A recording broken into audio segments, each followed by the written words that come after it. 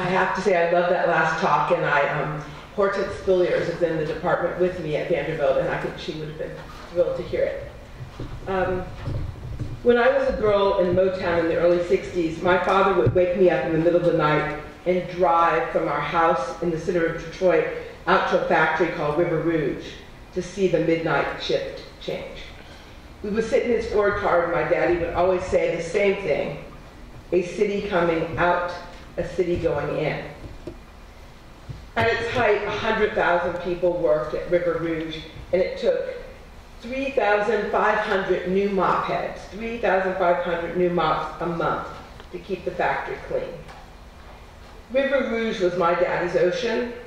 We lived off it. He provided services to the workers. It was Ziggy Johnson's ocean, too. Let me give you a taste of that. This is an excerpt from my novel in progress, Zagging Ziggy, which in some sense you're all going to be in. There are two components to the novel, a fictional biography of dancer Ziggy Johnson, written by one of his former students, Mary Alice, interspiced with Mary Alice's fictional memoir of growing up under the influence of Ziggy. In my novel, just prior to the publication of The Black Ziegfeld, Mary Alice is invited to Ann Arbor, Michigan to give a talk, Ziggy and the Urban. The fictional Ziggy is closely based on a real person, the real Ziggy Johnson, published over 800 newspaper columns. And that's how I, I began with to construct his voice, from zagging with Ziggy.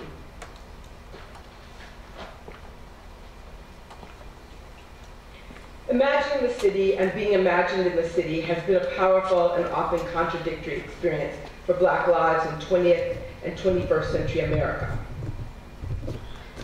For some African Americans, imagining the city was a primary act of, prepar of preparation for taking part in the Great Migration. For others, it was a conscious act of self-liberation while remaining planted in the rural South. For Merst, imagining the city was a positive expansion. Being imagined in the city was something quite different. In 20th century film and later television, portrayals of African Americans, beginning with urban portrayals in Birth of a Nation, frequently reflected African Americans being viciously imagined in the city, often as violent male urban youths and sexually depraved, exploited, and exploiting female urban youths. These imaginings have done much to contain and constrain black identity. In black parlance, the word urban has become polluted. By the time the 20th century gave way to the 21st, in many black communities, urban renewal was considered a code phrase for Negro removal, and the phrase urban youth was a suspect as a code phrase for damaged goods of African origin, less than human. Even as the term urban contemporary came to mean black music popular with white audiences. As a novelist who identifies as African American, I have imagined and reimagined how my characters imagine the urban, reimagine the urban, are damaged by the urban, and are sustained by the urban. And then on the way to writing a novel, I found a subject that invited biography. The Black Ziegfeld, or Black Kamala, explores Ziggy Johnson's journey to becoming urban, a journey that centers on three Motown locations. The show bars where he emceed, the Gotham Hotel where he lived, and the Ziggy Johnson School of Theater where he taught a next generation to dance and to become his very favorite flavor of citified. Ziggy kept a journal. Let me give you a taste of it. There is a world that explains Detroit to me, breadwinner. That's the first thing I saw when I came here, what Detroit had more than Chicago or St. Louis or New York City or Los Angeles. Black men who would go out and earn a wage, a good wage, a steady wage, doing a skilled job. The factory people. Some people sneer when they say factory people. I smile. Car factory people made Detroit. Detroit, they were doctors, nurses, lawyers, ministers, black doctors, nurses, lawyers, ministers, school teachers, and all manner of business folk, from number kingpins and Mac men to dry cleaners and automobile salesmen, and telephone company switchboard operators to barbers, beauticians, morticians, politicians, and show folk. But we all catered to the car factory folk, the car factory folk, and the car, the tire factory folk, the breadwinners. They drove it. We all knew that and gave them their respect. Those men who did that shift work. I remember when River Rouge moved 24-7, three shifts a day. That was opportunity. This is what the Opes never see. When a man, a sepia man, a father, is driving down the street in a Cadillac or a Mustang, wherever he's driving, he knows a black man, if it's a Detroit, some black man he knew helped make it. You get in a long stretch of flat and straight, and you put the pedal down, and that car glides, it doesn't shake. You're a speed merchant, and you're not driving just yourself. You're driving some other black man's sweat and prosperity. You send in some other proud papa's kid to music lesson, to a black private school, to a black camp, to a summer week in Idlewild, to my dancing school, to starring in the Youth Colossal Father's Day at the Latin Quarter. There were no white faces in the Latin Quarter, none. There were our children on the stage and everybody looking up through the footlights spotted someone in the tap line and thought, he could be the second coming of Christ. Saw one of the girls and thought, she could be the next Virgin Mary, and Lord, don't all the apostles look good. Breadwinners and their babies. I made a place where 500 black children were each our brother's witness, our sister's witness. What an education our boys and girls got. They learned they were beautiful. They learned we speak Spanish and French and we travel the world. And that is why the big performers love to come to the show. Everywhere else they played for white folk, but at the Latin Quarter on Father's Day, they played for the little boy and the little girl they once were, and they played for the breadwinner. They say 8,000 black men were working in the factories by the end of World War I almost 2004. The work wasn't easy or pretty. Many of the first of the black Ford factory folk were janitors and cleaners. They worked in the belly of the beast, and the beast was a giant blast furnace in the center of the city. But they worked rain or shine, worked like you can't work on a farm, rain or shine. And they knew how much money there'd be in the check when it came. It may not have been what the white fellow got, hell, it wasn't, but it was the same every time, and you could plan with that. Five dollars a day, buy a house with that, get to Idlewild with that, have a night out at the clubs, or some singer, some dancer, some barmaid could make you forget all you knew about the belly of the beast after you crawled out of it. And you could plan how it was your son and your daughter would never crawl back in. On a farm, it looks like your children's children's children will be planting acres and fighting rain and weevils and every kind of plague. In a factory, you worry about losing a hand or getting killed right off, but you know your child may not have to go into the factory if you do it right and long enough. You know there's a college down the road and your child might get to it. What I wanted work to do in Detroit, give the breadwinners a treat. Joseph Ziggy Johnson was born in Chicago in 1913. He made his name as a dancer and choreographer in Bronzeville, Black urban Chicago, including um, choreographing drag shows there before leaving to move to Detroit to the world of Black Bottom. He preferred the way the urban was enacted on the banks of the Detroit River to the way it was performed on the shores of Lake Michigan. A featured columnist for over a decade for three of the most significant black urban newspapers of his day, the Chicago Defender, the Michigan Chronicle, and the Pittsburgh Courier, he published over a thousand articles and has been almost completely unrecognized. Johnson's columns ostensibly focused on show folks, showbiz, and show reviews, but defining the essence of the urban and parsing distinctions between various urban black imaginaries was central to his life's project. His first Zagging with Ziggy column was published in 1952. His last column was published days after his death in 1967. I was born in Detroit, Michigan in 59.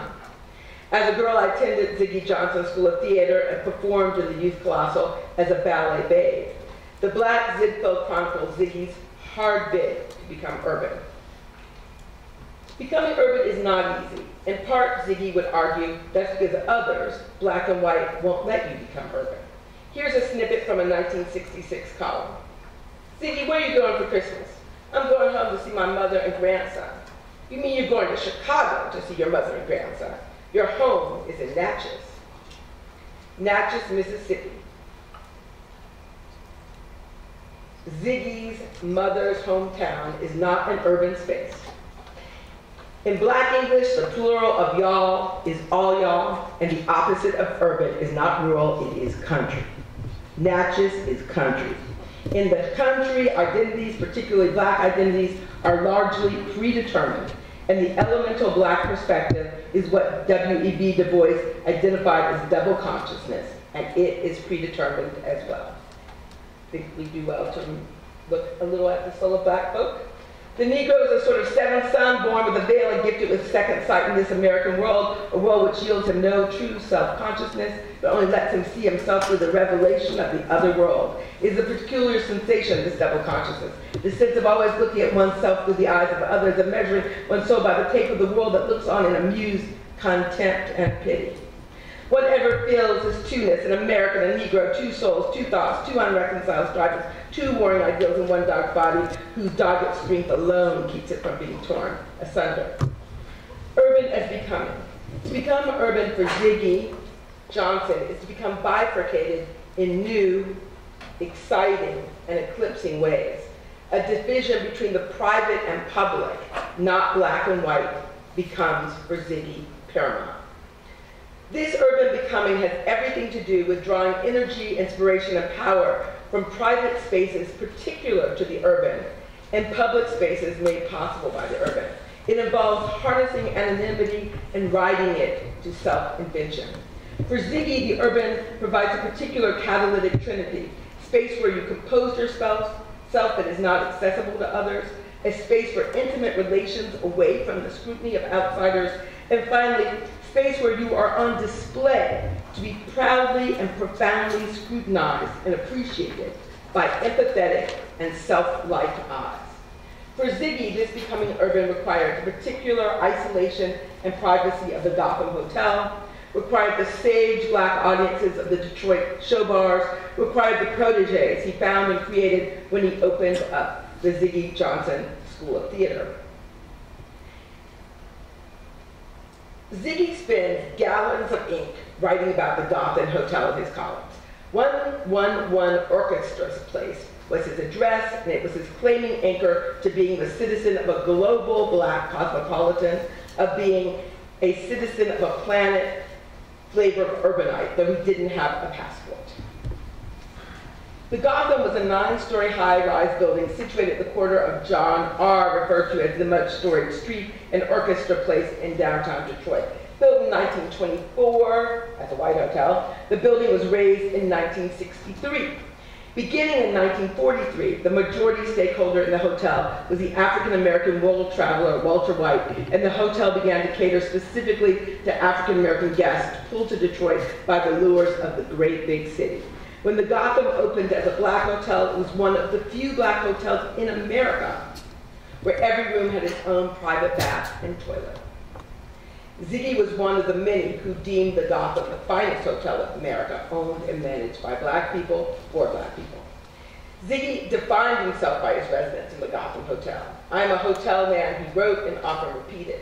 When he also wrote, everybody's got a home but me, it was more a boast than a complaint and it was a significant convenience. In addition to the desk clerks, maids, restaurants that liberated Ziggy from domestic chores and the necessity of acquiring a wife to perform them, the Gotham also offered an ever-changing parade of personalities from what Ziggy called big wigs to what he called small fry. Count Basie, Jack Robinson, Ella Fitzgerald, Thurgood Marshall, all checked into the Gotham, but so did Clara Ward gospel singers in 1953, and 30 students from Xenia, Ohio in 1956, all of whom made it into his column. Strangers coming and going is an essence of Ziggy's urban.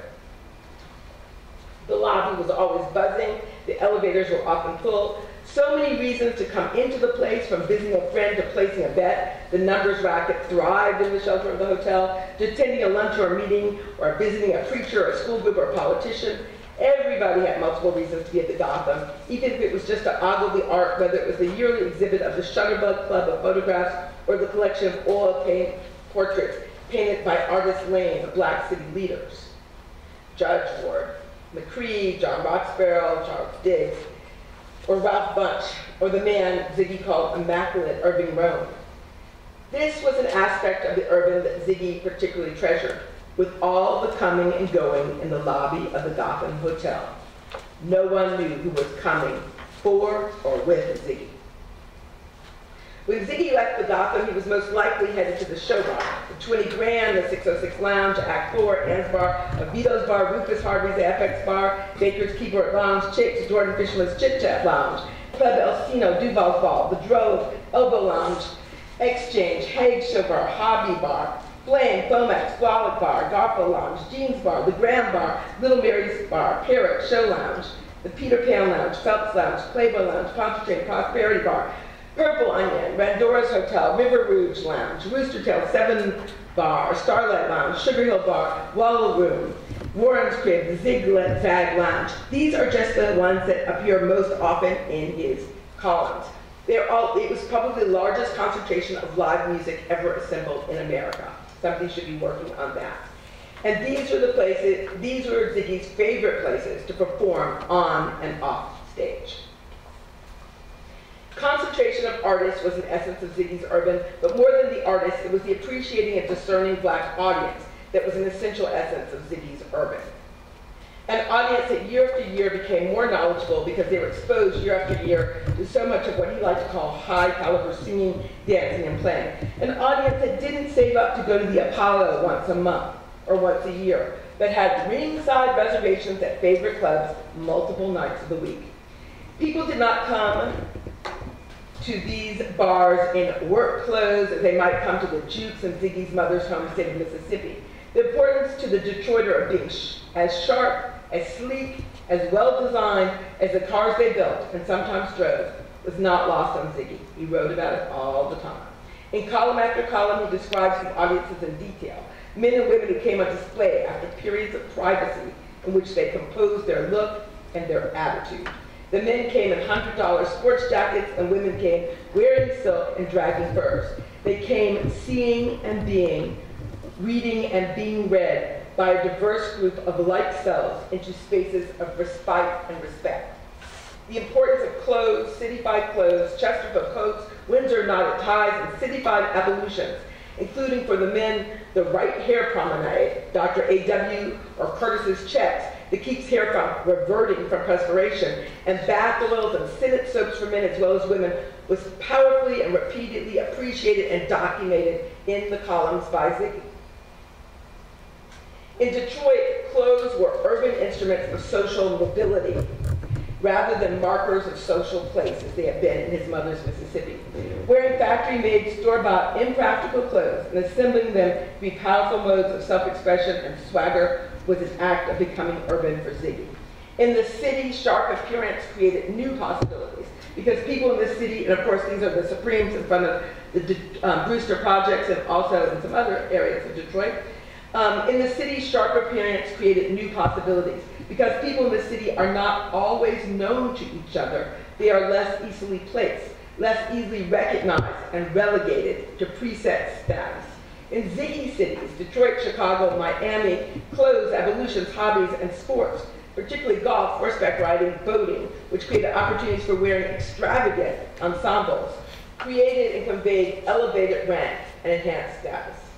Sharpness became an urban manifestation of intelligence, discipline, innovation, and the desire to give and receive visual pleasure by self-construction, not natural beauty give and receive visual pleasure by self-construction, not natural beauty. This flavor of dandyism was an essential essence of Ziggy's urban. It was an essence rooted in Chicago, a place of rich intersections, a place where tomorrow became more important than today, a place where Ziggy first claimed dancer as an occupation on the federal census. Eventually, Ziggy became dissatisfied with the Windy City. For the most part, he spent a lot of time performing with black entertainers in front of white audiences. That's what was largely going on um, for him there.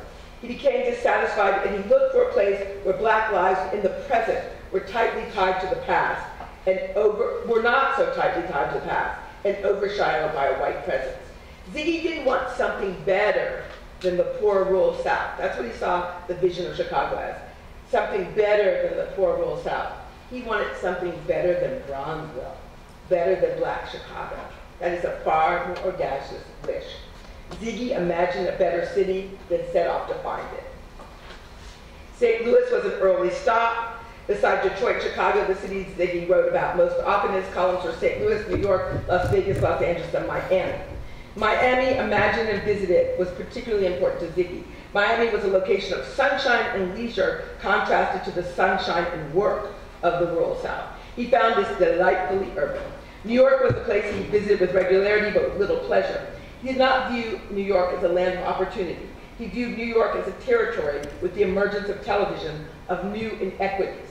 He kept tabs on what black show folks were doing on Ed Sullivan, not enough, on Broadway, not enough, at the Apollo, too little money, but he always repeated in his column he found the city very, very cold. And this was a man who knew the Michigan snow and the wind off Lake Michigan. In Motown, Ziggy moved from searching for a better black city to helping create a better city. In 1952, Ziggy Johnson opened the Ziggy Johnson School of Theater. In June of that year, on Father's Day, he mounted the first of his grand youth-centered musicals that became a centerpiece of the Detroit year. To understand the prominence of these events, let me drop a few of the names Ziggy dropped in his column into his show. These are people who danced with his child dancers on stage. Sammy Davis, The Temptations, The Four Tops, The Supremes, helping backstage getting students into costume, Gladys Knight, knocking back drinks at the bar, learning how to dance and mourning his own father. Always hard day for him, Father's Day, always there at Ziggy's show, Marvin Gaye. The man loved Motown, the institution he founded in Motown, the Ziggy Johnson School of Dance, and the day he owned in Motown, Father's Day.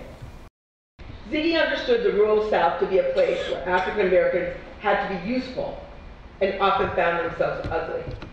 Though the breadwinners were useful in Mr. Ford's factories, this very usefulness marked them in Ziggy's mind, though they were living in Detroit as country. The children in his dance school were not learning to be useful. They were learning to be beautiful, to become significant in themselves, not in how they might serve others. Ziggy taught dance, yes. He won dance competitions, yes. That middle picture is of a girl who wins a dance competition in the city from Ziggy's show. But ambition, discipline, community organization, and that complex preparation for urban life that is showmanship were all central to the curriculum. He was teaching fearless self-display. Ziggy wasn't about teaching dance. He was about teaching how to be citified and win. Ziggy became Ziggy, moving between the Gotham Hotel, the show bars, and his dancing school. Ziggy came to recognize claim to measure himself against his own interior ideals. Or to put it as he might have put it, I pulled myself together and I accepted every piece. This integration of everything Ziggy into a self-coherent individual could possibly have happened in other locales. It did happen in the onlyness of a rented hotel room single in the bath, water laced with fragrant oils, bathing himself with scented soap, Ziggy became Ziggy, a person willing to write in the newspaper about his bath, a self-defined and self-created person, an urbanite. The Gotham show bars, the dance school, each of these were settings where Ziggy could have measured himself against the ideals of discerning black audiences in ways that made white audiences respond unimportant while sharpening his self-perception on the whetstone of the wide variety of humans with whom he interacted. A volatile combination of privacy and display made possible by the city. This was the essence of Ziggy's urban. In Motown, he found a particularly fertile ground, space where it was possible to engage the density of personalities and density of possibilities rising from sheer vast numbers of people that coexisted with space to be alone and become. Ziggy made powerful use of the alienation possible in the city. Ziggy did more than give the breadwinners a treat. He taught their children to how to be citizens of the black, global, cosmopolitan, denizens of the urban by teaching them, teaching them to be like him, separate and connected. He taught that life was performance art. He taught swagger. He taught it a lot. When James Nixon, desk clerk at the Gotham Hotel, dressed in his favorite remix of Prep, some clothes from a Harvard Yale Princeton he never went to, his own flavor of sharp that Ziggy described as an Ivy look, handed Ziggy When that man handed Ziggy postcards Ziggy's friends had posted, and really had posted, from Japan, from China, from Paris, from Russia, postcards from black people abroad, this was a multi-layered performance. What was written on the cards? What happened? Or what they wanted to have happened? What was told? What impression one wished to make? All performance. Handing the card with a smile, pretending not to have read it. Performance. With each performance, as both men smiled and the postcards became props, Nixon joined with Ziggy in creating a true city center where it was possible to invent and reinvent yourself, and self-invention was celebrated as truth, not lie. Ziggy taught the children, the breadwinners, how to measure themselves against the best, each other, or their own damn self. Life as performance art was for Ziggy an urban occupation and a central truth of urban black life. Self-making was not a possibility for him in southern rural environments. It was a fruit of a tree, tree that grew best for Ziggy in Detroit.